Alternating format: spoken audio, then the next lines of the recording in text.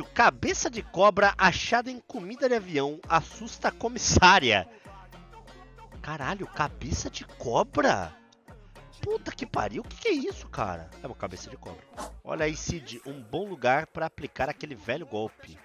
Lugares com benefícios de aniversariantes de Curitiba. Cara, tem uma lista. Hoje, advogado Rui Cabeção lista títulos de futebol no currículo. Ah, a gente leu aqui o currículo dele, né? Na última live. Anitta lança perfume para ser usado nas regiões íntimas. Ah, isso é um erro. Ah, isso aqui é um erro. Eu já passei desodorante no pênis. Isso aqui é um erro. E antes que alguém venha falar alguma palhaçadinha, alguém aqui vai dar uma risadinha, ah, que burro tal. Eu tenho certeza que várias pessoas no chat já fizeram isso, já passaram perfume na periquita, já passaram aí um. um o Rexona na cabeça do pau. Tenho certeza absoluta. Porque tem uns encontros que você sai de casa sabendo que vai. Tchutchu. Você sabe. Tem uns que você tem certeza, tá ligado? E aí você tá lá se aprontando tal. E aí você tá peladão ali, saiu do banho, tá passando o desodorante. Aí você fala, ué, tô com o desodorante na mão, já tô pelado. Por que não ver o que acontece? Né? E é um erro, isso aí é um erro, né? É um negócio perigosíssimo. Eu tive que chamar os bombeiros aqui na minha casa porque eu fiquei um pouco assustado. Mas claramente é um erro, né? Agora, a Anitta aqui tá falando que fez um perfume exclusivo para isso. O perfume. Perfume não tem álcool? Perfume não tem álcool? Mas o perfume tem álcool? Tem, a Maju gritou que tem, já bebeu, né? Claramente já sabia que algum, algum dia solitário em casa deve ter bebido perfume. Uh, pô, só se for um perfume especial, né? Que tem aí é, coisas para não dar problema né? nas, para, nas paradinhas, né? Ó, chamada de Pussy a fragrância foi inspirada em um hábito que a cantora possui há anos.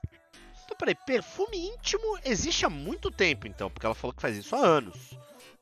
Há anos ou. Peraí, ou no anos? Há anos, há anos. Faz isso há anos. Então é um negócio que existe há muito tempo, ela não inventou. É, será que ela passou o rolon? Pode ser isso também, né? Pode ser isso. Tem um sabonete íntimo também, né? É, é, são, são muitas questões, cara. Eu teria que conversar aqui com o marketing da marca. Marketing da marca Puzi quiser conversar comigo aqui em live, tirar algumas. Uh, uh, eu tenho algumas dúvidas, que se quiser tirar algumas dúvidas minhas aí, pode aparecer, tá bom? Pode aparecer. Eu comprei, Cid. É uma fragrância de bacalhau. Não, Uh, Dona Brasilina faz primeira tatuagem aos 88 anos em Encanta Web. Olha aí, ó. 88 anos fez uma tatuagem. Ah, tem que fazer mesmo. Tem que fazer. Essa história aí de ah. De ah, tatuagem, não sei o que. Tatuagem, isso aí é dos anos 60, né? Porra, já passou esse tempo, né? Todo mundo. Todo mundo tem tatuagem legal pra caralho. Ah, não faça se você não quiser fazer, óbvio, né? Mas se você tem vontade de fazer, espera 18 anos. E aí faz, né? Meu pai fez depois de velho também. Meu pai fez depois de 70 anos, fez tatuagem. Meu pai também sempre falou, eu já contei aqui na, na live. Meu pai sempre falou mal de tatuagem. Sempre falou mal de tatuagem. Sempre ficou meio com o pé atrás comigo e tal, né? Porque eu, eu fiz tatuagem já com 18. É... E ele sempre falou mal. E quando eu mostrava minhas tatuagens pra ele, ele falava: Que coisa horrível. Que coisa horrível. Ah, não sei o que. Com 70 anos de idade. Me aparece com duas tatuagens. Grande. Uma aqui no braço e outra no outro. Aqui, ó. Maximize, minimize. é o meu nome no braço e o nome da minha irmã no outro. Apareceu com, com duas tatuagens no braço, cara. Depois de 70 anos. Eu falei, pai, tu não sempre falou que eu odiava tatuagem? Ele falou, eu menti. Falei, ué, como assim? Ele falou, eu sempre adorei tatuagem, cara. Eu sempre achei o máximo tatuagem. Porque, pô, eu era moleque, morava aqui em Santos. Aparecia aqueles caras lá no, no. Os gringos vinha do cais já, nos anos 70, tá, dos anos 60, já tatuado, eu achava lindo, achava interessante, mas eu nunca fiz tatuagem, sempre falei mal de tatuagem para você, porque eu tinha medo que você ficasse tatuando o rosto, que você fosse aqueles doidos que ficava se tatuando inteiro.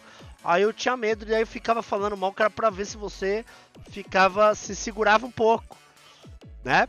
Olha aí, voltar lá pro nosso plantão. A gente tava aqui nessa notícia. Homem internado em São Paulo após tentar operar o próprio nariz em casa. Aí eu vi essa história. Tá meio que uma mania na internet de fazer rinoplastia caseira. Vocês viram esse papo?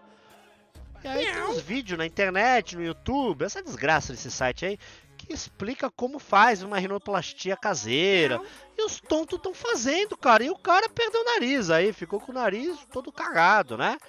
Cara, o YouTube, tem cara fazendo lipo, tem cara ensinando a fazer lipoaspiração. Lipoaspiração no YouTube. Rinoplastia de menos. Daqui a pouco vai ter cara ensinando a operar coração. Ah, você tem uma tá com, você tem um marcapasso?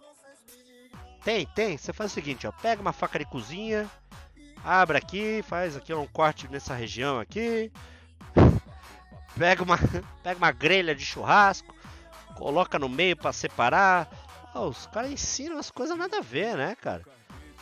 Será que tem da operação da fimose? É. Aí eu já não sei.